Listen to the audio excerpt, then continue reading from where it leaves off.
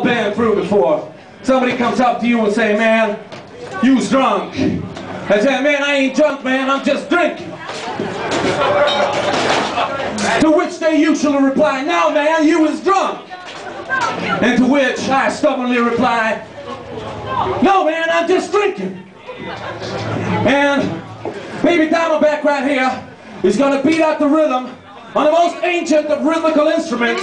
This is the first rhythmical instrument that was ever invented by man. This is what they did.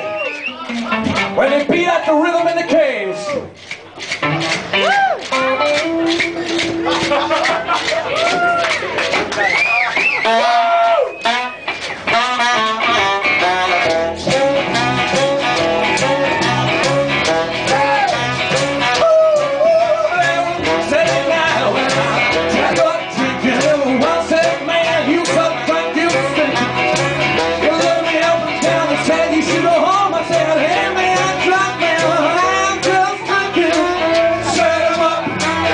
all around.